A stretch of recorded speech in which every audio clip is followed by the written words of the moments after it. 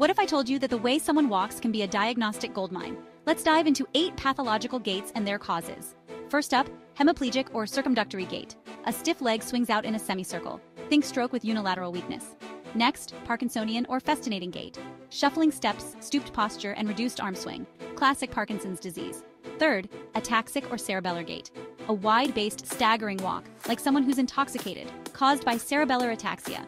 Fourth, spastic diplegic or scissor gait. Legs cross over with each step, often seen in cerebral palsy. Fifth, steppage, equine, or foot drop gait.